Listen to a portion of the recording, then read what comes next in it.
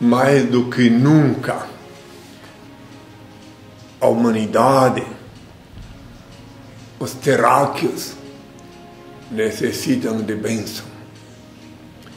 Nós estamos vivendo um período que deveras transcendental, deveras deve se considerar um período singular, que prenuncia, que nos dá um vislumbre do movimento metamorfósico da mãe natureza face à violação das leis divinas. Então eu, nesse momento, exatamente nesse momento eu começo a ver no leito de morte os que estão esperando na estação de passamento a hora de subir ou de ir, de largar, de se desvencilhar do corpo que já se tornou incômodo, cujos órgãos nem todos estão funcionando a contento. E traço um paralelo, eu analiso com a anuência do pai. Ao mesmo tempo, por mais absurdo que possa parecer, eu olho os jovens que estão agora fazendo festas, turismo, acampando, viajando para outros países, indo na noite para danceterias, baile funk, essas coisas todas, sempre, sempre, sempre em busca de um prazer de uma satisfação mais natural, mais do que natural. Mas eles não sabem, vós jovens que me ouvis, que só tem um lugar que se encontra a satisfação. E pode sim ir na danceteria, podes ir fazer turismo, podes ir para a praia, lagartear, cozinhar couro no sol, podes ir. Faz parte da juventude, faz parte dos prazeres da vida. Só que, se quiseres vir, ir em qualquer lugar e te sentir seguro, contente, encontrar a satisfação pessoal, sentir alegria, uma verdadeira alegria interior, então é necessário que lembres do teu Criador. Não precisas ir jamais em nenhuma igreja, não. Mas tu lembra do teu Criador, olhe para dentro de ti, veja que Ele está vivificando-te, que Ele que está te dando vida, que é Ele que dá ânimo para amanhecer, fazer o teu de jejum, para lavar-te, tomar banho. Ah, é? Deus, é sim, meu filhinho. Porque se ele não te der ânimo para tomar banho, tu não vai poder tomar. Carecerá de que alguém te lave. É. Se ele não te der vida, a contento, plena, tu já começas a precisar de que alguém carregue o teu corpo, o teu veículo, em estado precário, para lavar, para até para comer. Até existem pessoas, existem seres humanos que estão se alimentando por canudo, por soro, então eu, não, eu abomino ter que falar as coisas desagradáveis, mas eu tenho que fazer sim a comparação, a junção, porque o Senhor disse, meu Pai, sempre reitera de novo, que ninguém vai conseguir ser feliz na terra, que ninguém vai ter paz, serenidade, tranquilidade sem a anuência dele, sem a proteção dele. Então podem rir, debochar, podem dizer, ah, que esse írio fica falando em Deus, em Deus, só em Deus. Só que na hora, o mais arrogante, o mais bestial, quadrúpede, disfarçado de bípede, o mais soberbo, perde toda a soberba, todo orgulho quando ele tem que fazer necessidade fisiológica por um canudo ou quando tem que carregar uma bolsinha para fazer necessidade. Então, por quê? Por que não pensar no Senhor no dia a dia? Um, ah, estás numa estação de veraneio, estás na praia, estás no cabaré, na danceteria. Não, nada disso é proibido. Mas lembre-te do teu Senhor, do teu Deus. É porque pecado é tudo que fizerdes que faz mal a ti ou a outrem. Tudo que fizerdes que não faz mal a ti nem aos outros não é pecado. Eu posso, com a devida vênia poética, pular do singular para o plural, porque eu estou obedecendo o Senhor. E os intelectualoides podem, note bem, os intelectualoides, os intelectuais compreendem o que eu estou fazendo. E os intelectualoides podem dizer, olha só, ir sem pedir licença, por Deus. Pois eu posso, meu pai diz, que eu devo falar livremente, me fazer entender, porque falar, a missão do servo do Senhor, do Filho do Homem, é fazer os que vivem na terra, os terráqueos, sem falar pejorativamente terráqueo. Quem vive na terra é terráqueo, veio da mãe terra. É nesse sentido que eu falo. Pode sim, devo sim me expressar da maneira mais compreensiva possível. Eu não falo aqui, nem em nenhum lugar, nem na televisão, nem na praça pública, nem nas universidades, para ser entendido por aqueles que engoliram bibliotecas que colecionam diplomas.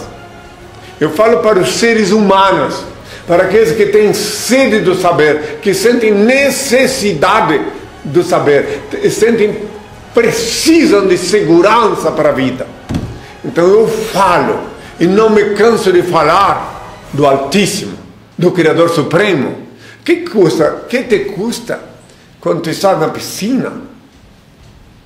Nadando, lembrar do teu Criador. E quando estás acompanhado da tua eleita, contemplando eventualmente a formosura, que te custa lembrar dele, lembrando que sem ele não existe formosura? Que te custa? Lembrar que o Senhor é quem fez todas as coisas, que Ele que dá e tira.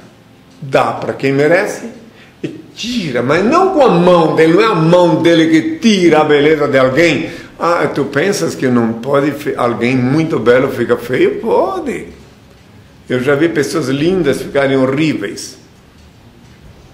Quanto mais tempo ela vai ficar no purgatório, no, no leito de impossível convalescência, mas ela ficando deteriorada fisionômica, física e principalmente espiritualmente. Eu vi na minha longa caminhada sobre a terra. Então pense, meus filhos, pense sempre, onde quer que tu estejas, filhos e filhos, ó, eu pulo de um lado para o outro e daí? Quero ver quem é autoridade aqui na terra que pode uh, impedir-me de passar do plural para o singular. Não tem. Eu obedeço o Senhor, só Ele me vigia, me conduz e dirige. Então por que que tu não pensas assim? Engraçado, eu tenho visto na minha longa jornada sobre a terra que só se pensa em Deus na desgraça, só no desespero, só na hora que sai de uma anestesia. Meu Deus, quando a pessoa sente dor, por que não pensar na hora do gozo, do prazer, da alegria? Também, ah, não é pecado Quando estou uh, em orgasmo, não posso pensar, não pode. Porque se tu não tivesse a proteção dele, tu não tivesse ele te dando vida, tu não atingiria nem o orgasmo, que não é aquela coisa maravilhosa que tu pensas. Né?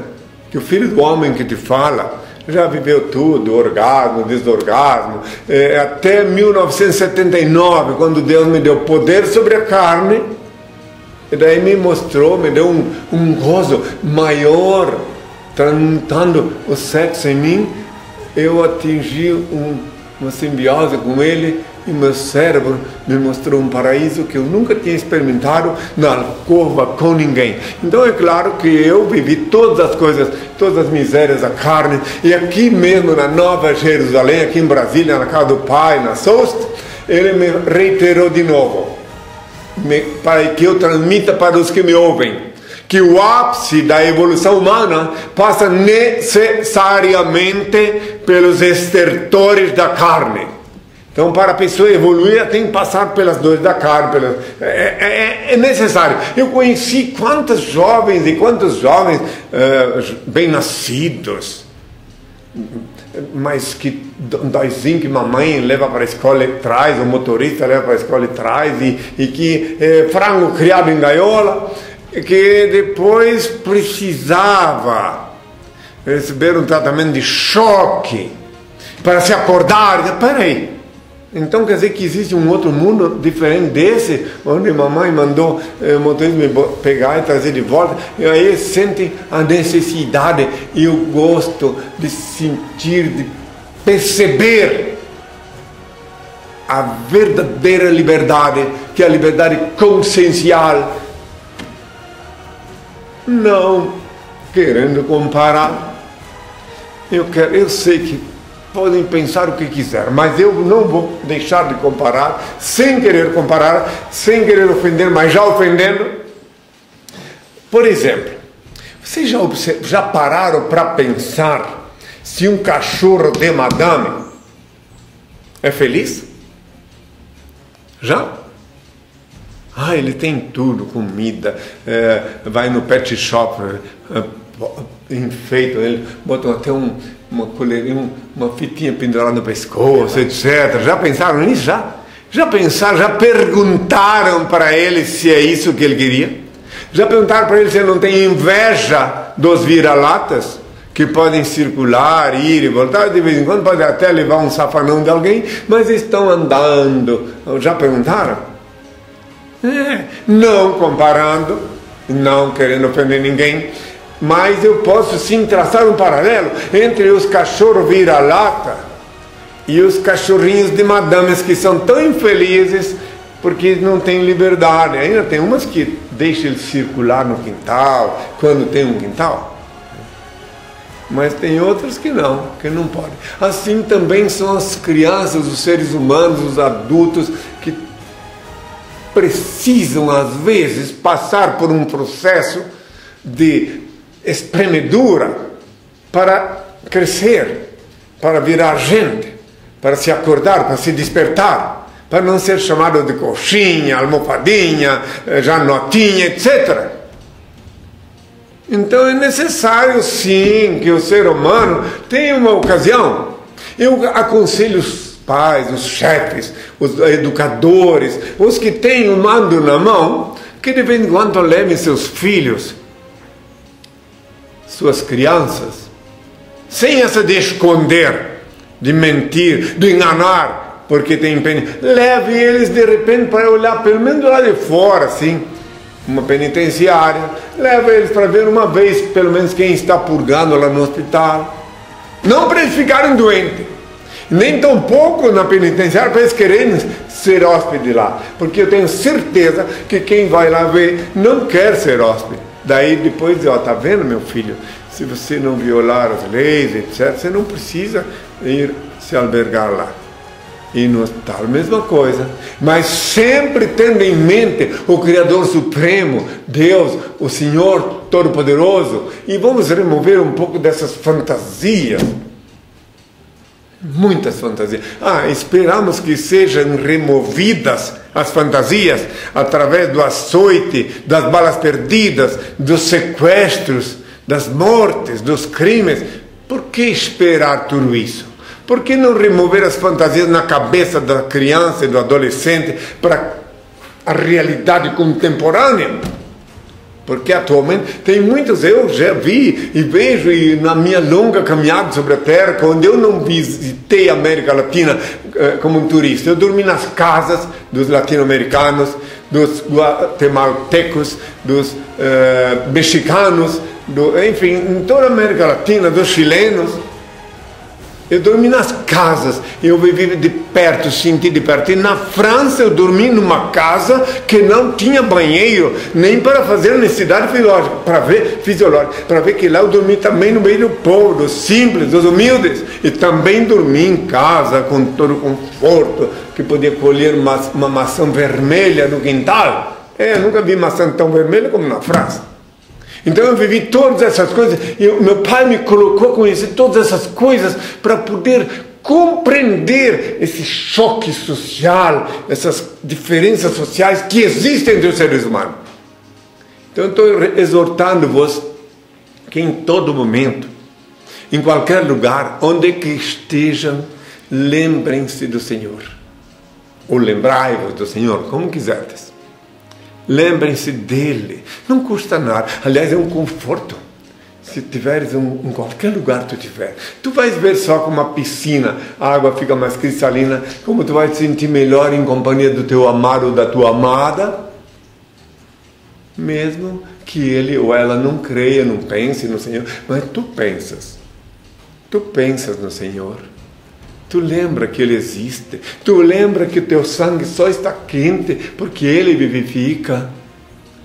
Que tuas células estão funcionando porque Ele dá vida para elas. Lembra-te de tudo isto. Mesmo onde estiveres, sim. No teu negócio, na fila do banco esperando para pagar uma conta, ou na fila do ingresso para entrar num, num, num espetáculo. Lembra-te ligeiramente do Senhor. Pensa nele na hora de dormir, de deitar. Pensa nele. E vais ver como tua vida vai mudar para melhor. Tu vai te sentir muito melhor. E as coisas que tu fizeres vai dar, vão ser bem feitas, vai dar certo, vão dar tudo certo as coisas que tu fizeres. É. Então eu estou falando tudo isso porque essa semana eu vejo é, pessoas se preparando e uns muito infelizes, muito tristes, porque não podem comprar presentinhos para dar para os parentes, e a economia, a situação econômica, a incerteza. E daí vem a, a data mágica, Natal. Nada contra os que se reúnem em volta de um pinheiro, por falta de uma opção melhor, por falta de se reunir em volta de si mesmo com Deus, nada contra. Mas é bom que lembrem-se que até aquele pinheiro que está morto lá, se é um pinheiro morto, se foi feito é, artificialmente, não estaria ali se Deus não tivesse dado vida para quem o colocou. Então lembrem-se dele, do Senhor. Essa data foi criada, olha, o Constantino, o imperador Constantino já já baixou a sepultura há muitos séculos. Foi no século IV que ele inventou essa coisa. Essa data de Natal, 25 de dezembro, para dizer que é a data que o Filho do Homem nasceu, não é verdade. Mas não tem importância, eu não estou contra isso também. Deixa um pouquinho de fantasia, enquanto não dá para encarar a realidade, que fiquem com a fantasia. Mas, que tal? Mesmo lá, removendo a fantasia de que o menino Deus, que menino isso. Pense no Senhor, no Senhor, pensem no Senhor.